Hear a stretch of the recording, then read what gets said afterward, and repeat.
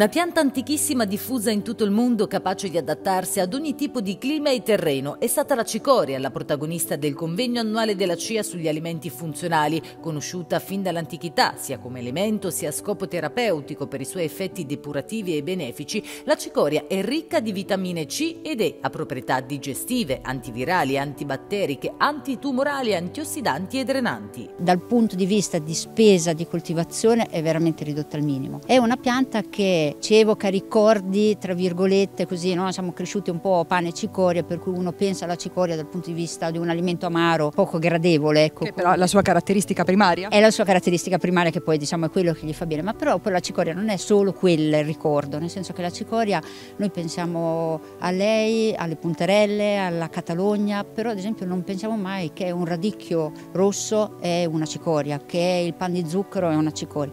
Esistono un centinaio di varietà che sono sempre delle cicorie. Ultimamente sta riscoprendo anche diciamo, uno sbocco di mercato molto interessante che è quello degli integratori alimentari, perché la radice soprattutto della cicoria contiene questo principio attivo che è l'inulina, molto importante per quanto riguarda il discorso del benessere, e dalla cicoria si ottiene una farina che viene utilizzata adesso a sostituzione dello zucchero, per cui la ritroviamo in tutti i prodotti da forno, molto utilizzata ormai nelle diete keto che stanno prendendo diciamo, il, il sopravvento sempre di più, per cui proprio un un utilizzo e una richiesta superiore a quello che possiamo immaginare. Il convegno organizzato dalla Confederazione Italiana Agricoltori della provincia di Pesaro Urbino si è svolto a Casal San Sergio a Fossombrone grazie al contributo della Camera di Commercio delle Marche. Eh, come CIA di Pesaro Urbino vogliamo in qualche modo far sì che questa cultura entri anche nelle nostre aziende, nelle rotazioni culturali, possa avere uno sbocco sul mercato e possa essere un'integrazione di reddito per le nostre aziende